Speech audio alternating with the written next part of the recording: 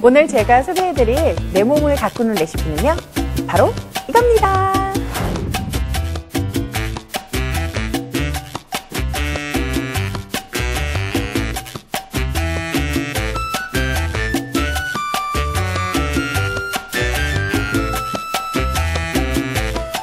오늘은 소고기 단호박 시금치 카레를 만들 건데요.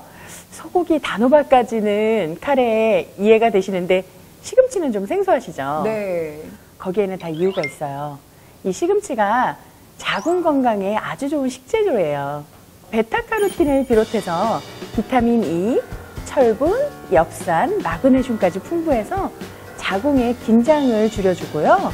어, 통증이나 염증의 완화에 효과가 있다 그래요. 네, 맞아요. 그리고 시금치는 간의 해독 작용을 도와주기도 하고 혈액 순환 개선에도 도움이 되어서 생리 중에 컨디션 회복에도 좋죠. 네, 맞아요.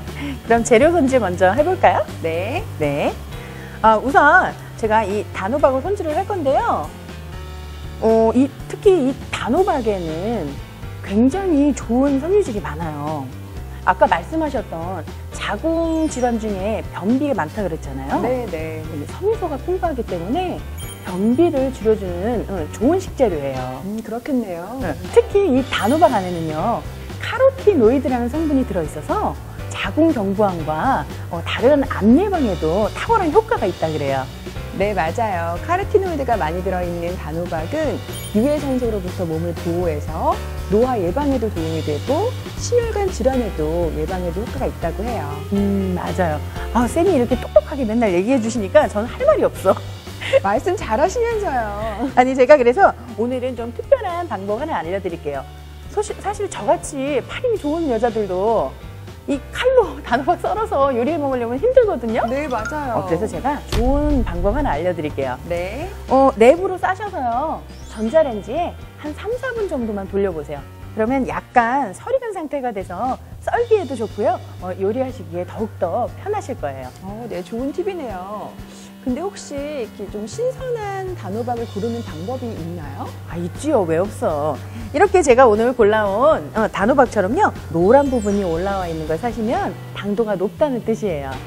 어, 정말 몰랐네요. 좋은 팁 또 하나 알아가네요. 제가 오늘 많이 알려드리죠? 네.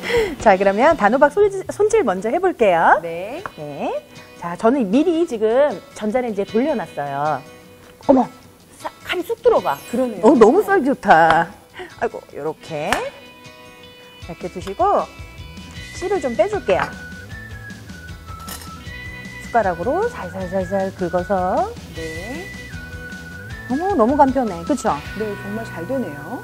아니, 단호박이 몸에 좋은 건 다들 아시는데, 손질하기가 어려우니까 딱딱하고, 그래서 잘 못 드시더라고요. 제가 오늘 알려드린 방법으로 전자레인지에 3분만 돌리셔서 편리하게 한번 이용해 보세요. 자, 이렇게 씨를 뺐고요. 먹기 좋은 크기로 잘라줄게요. 크기는 원하시는 크기대로 자르시면 돼요. 음, 또 껍질은 따로 안 벗겨도 되는 거죠? 네, 껍질에 더 영양분이 많다 그래서 저는 그대로 이용할게요. 네, 좋네요. 같이 먹어야겠네요. 네.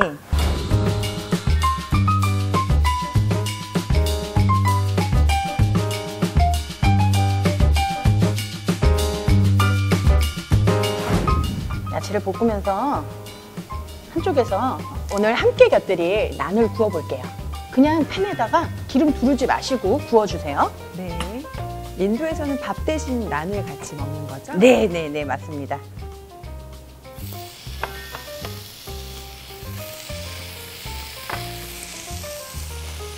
자, 소금 후추 살짝 간할게요. 또 이것도 카레에서 같이 끓여지니까 살짝만 익히면 되지 않을까요? 네네. 핏기만 살짝 없어질 정도로만 볶아주세요. 저도 이제 좀 알죠? 음, 역시 센스쟁이셔. 많이 배웠어요, 그동안. 네. 많이 익어지는지 볼게요. 음. 이렇게 핏기가 없어지면 음, 야채가 좀 딱딱한 거 먼저 넣을게요. 단호박은 전자레인지에 한번 돌려서 살짝 덜 익었으니까 당근 먼저.